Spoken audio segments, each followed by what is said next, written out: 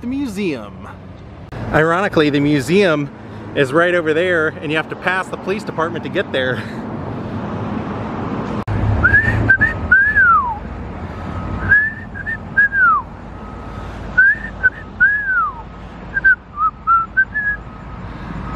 The iconic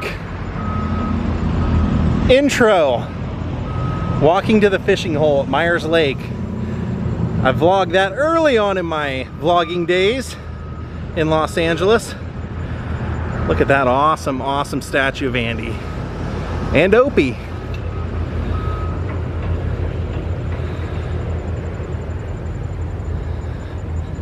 Fantastic. We're not going to the playhouse today, but the museum is right next to it. Hang a right. Right out in front of the museum, they have the sidecar.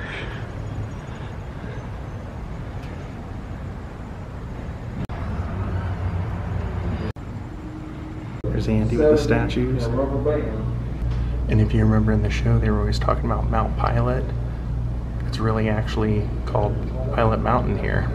So the admission ticket is this. Take a look at that rocking chair. Remember earlier I told you that Andy's father was a furniture builder? He made this for Andy's mother. And they're showing that inside, underneath it, he actually signed it for her. It says CG 1927, that's Carl Griffith. And here at the Snappy Lunch exhibit, they have Andy Griffith's childhood slingshot his father made him. They said that the Andy Griffith show is basically, you know, his relationship with his real father. So that kind of makes you think of the bird episode when Opie kills the mama bird. And there's Andy's Boy Scout Handbook for Boys from 1938. And it has his inscription of his name inside of it. There's his yearbook and they have a picture of him because he was the president. of the Glee Club. Andrew Griffith. Up there you can see one of his report cards.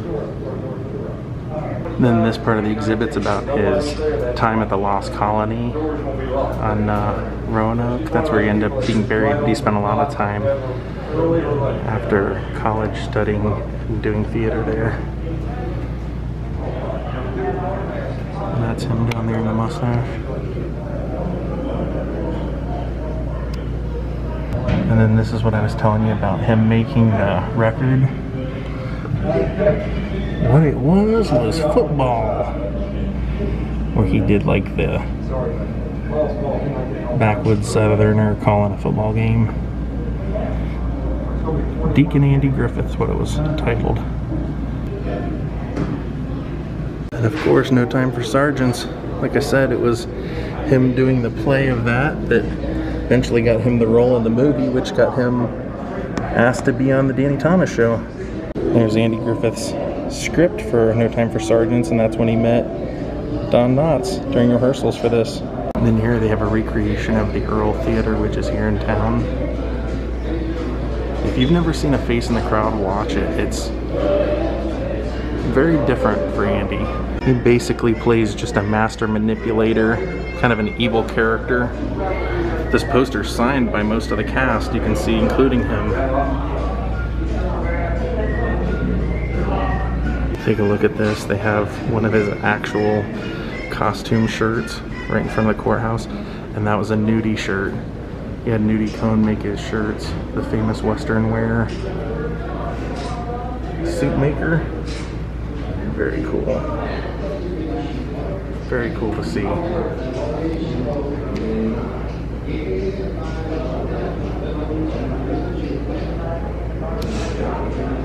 And then on the back side of the Andy Griffith sheriff shirt, they have one of the actual sheriff badges that he wore on the show. How cool. Now this is really cool. They did the recreation of a courthouse here, and those are the actual signs from the show. The sheriff sign, you can see they covered them in glass. There's the actual sheriff door sign, and the justice of the peace. And we saw that really cool replica courthouse here in town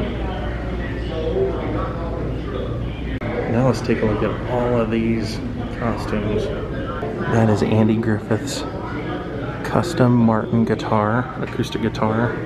And if you look on the, looks like the uh, 17th or 19th fret, it's got his name on it.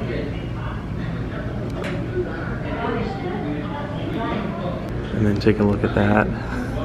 That's awesome. That's Don Knotts' suit, that salt and pepper suit we'd always see him wear on date night with Thelma Lou. Actually, he's not wearing the jacket there, but he's wearing the pants up there in that photo. And that same hat.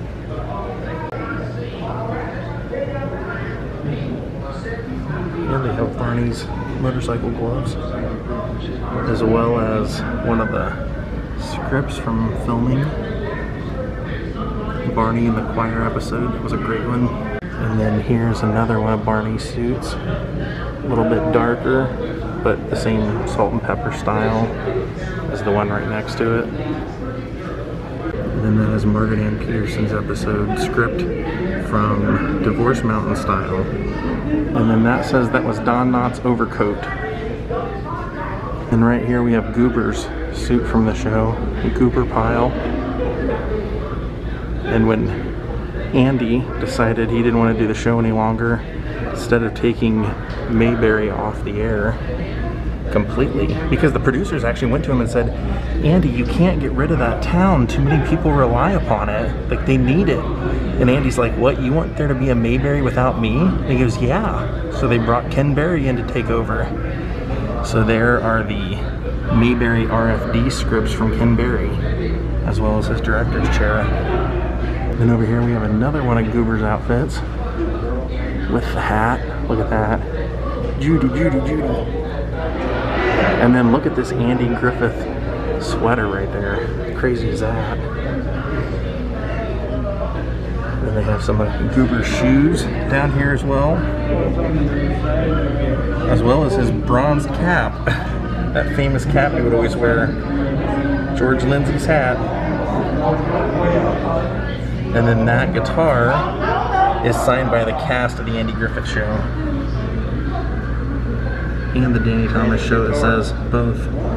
Check out this case. This one has one of the original soundstage Andy Griffith Show signs from the uh, sound stages either at Red or now it's called Red Studios or at the uh, the old Desilu lot. And then there's Andy Griffith's script from Return to Mayberry.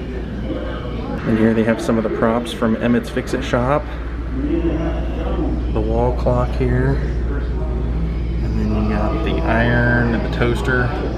Then over to the left you can see some replica barbershop items that they would have used. And then they have some Andy Griffith hot sausage and navy beans and all that stuff when he was merchandised.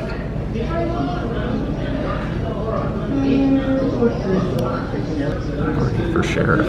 Gotta love it. And then there's one of the original Mayberry RFD signs. And look at what's behind us. Take a look at this. They actually have a set here. Andy's desk from the show. Look at that. How cool is that? Even signed the thing that you bang the gavel on. Look at that, how cool.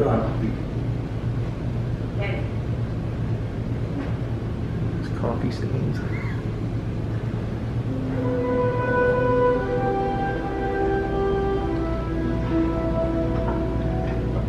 And then that chair over there, Barney's chair, that's the actual Barney chair. The real one. Just great. I love it. That's one of the highlights of this trip is getting to see this stuff.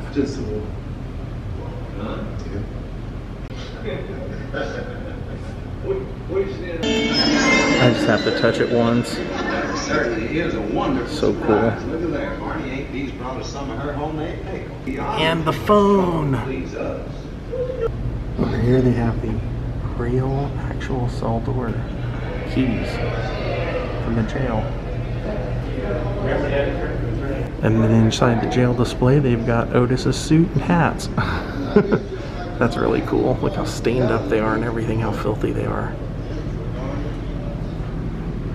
The lovable wino drunk Otis. Take a look at this case. That's all Matlock. He originally, when he left the Andy Griffith Show, he wanted to make movies, and they signed him to like a 10 movie deal. But the first movie was pretty much a bomb, and they canceled the contract. Eventually, he went on to star in Matlock, of course, Ben Matlock. That is a letter about the Matlock suit that he's donating here. Saying the suits at the time cost $2,000 a piece. That's one of the murder weapons from one of the episodes. His wristwatch. It's a Matlock watch given to the cast. Then the Weird Wally doll made for uh, the Matlock episodes. And then his director's chair and a windbreaker and hat. Filmed in Wilmington. So he said every year the wardrobe women would go out and buy a bunch of the material, make six to eight suits a year, and uh, they would be gray. And then he said once they were starting to get white by the end of the series, they would quit using them. I think I gotta get a shirt. Check these out. Hey, here's a, that'd be a good present for your dad. Hey, very. Happy Syrian. I had to buy an Otis shirt to support my t-shirt addiction and some postcards. As you can see my friends, there's a lot more to see here, but we won't be doing it today. I think we've seen quite a lot for the day and I want to come back and visit again, add a little bit more to the experience. There's a lot more shops to check out, more art all over town, more museums, a squad car tour, and a certain Andy Griffith's house we need to stay in. Thank you all for watching. We're gonna call it a day. Have a great night. Goodbye.